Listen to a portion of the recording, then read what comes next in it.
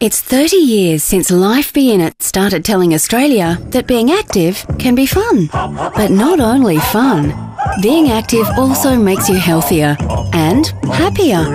Almost everybody got the message. But 30 years on, some people out there seem to have forgotten what Life Be In It meant. Guess it's time for another wake up call.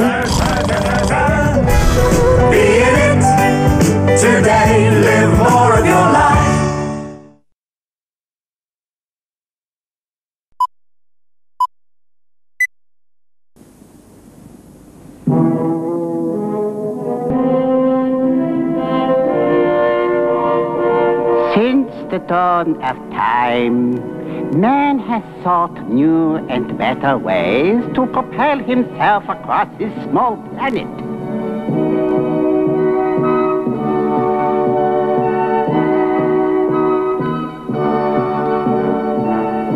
Now, a new age dawns as man discovers the foot. Just one foot can hop, tap, kick. Two feet can walk, skip, run. A small hop for one man, a great step forward for mankind. This message was brought to you in the interests of the better use of feet.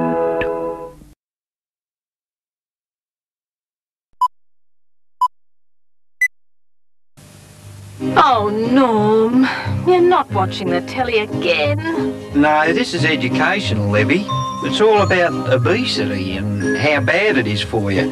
I'll tell you what, I wouldn't like to catch it. You don't catch obesity, Norm, Huh? How do you get it then? by eating too much, by eating the wrong things, or by not doing any exercise. Oh. Um, what is obesity exactly? It's getting fat, Norm. Oh. When you eat more than you need, the excess energies turn to the fat. To avoid obesity, cut down the amount you eat. Choose a balanced diet and include some regular exercise as part of your lifestyle. Obesity reduces your chance of a long and healthy life. So, watch what you eat and exercise regularly. I've just got big stomach bone.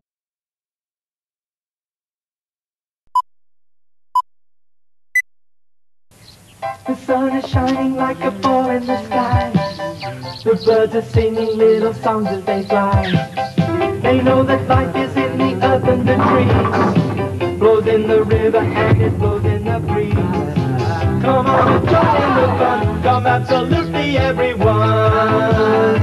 There are no excuses. The air is free and so is the sun. So be in it today. Come everybody your feet in the air.